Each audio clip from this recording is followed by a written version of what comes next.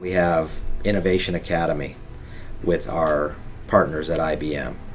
And our youngest learners are going to the IBM campus and they're working with engineers on solutions for a smarter planet.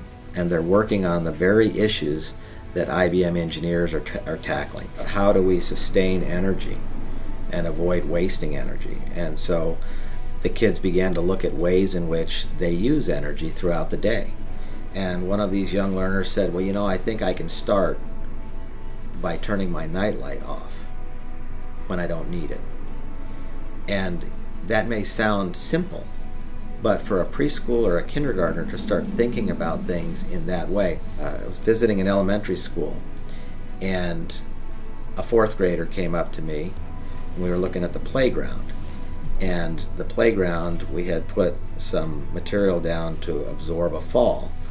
And he was talking to me about his conversations with some of the folks at IBM and began to say, you know, I measured the amount of cushion and the material that's being used and actually think we'd be better served by using this material which is going to last longer, it's less costly, and it's safer.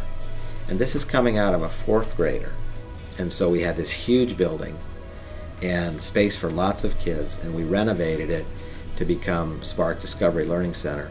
When we first broached the idea, some people thought we were kind of crazy for thinking about uh, uh, dealing with kids such, at such a young age. Um, but the, the K2 uh, was a unique aspect uh, that we thought, let's reach out to these children and see what we can do with them and get them excited about math, science, STEM, high tech careers, and by designing the innovation for a smarter planet, to show them real world experiences and reasons for why this is important. There are many jobs in Colorado and many other states that are currently going unfulfilled, uh, not that we don't want to fill them, it's that we can't find the skills.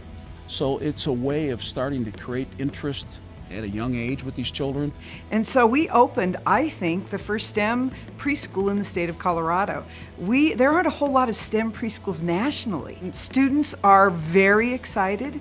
Uh, they love the technology, and uh, we opened the door. We had the devices on the table, 50 of them. These little kindergarten, first, second grade students kind of nudged us out of the way, walked right up, picked them up, and started using them. Some had never seen the devices before. They intuitively knew, and we had to experience that with them. When you see an IBM engineer sitting on the floor with a kindergartner and designing a prototype together, you know you've got something.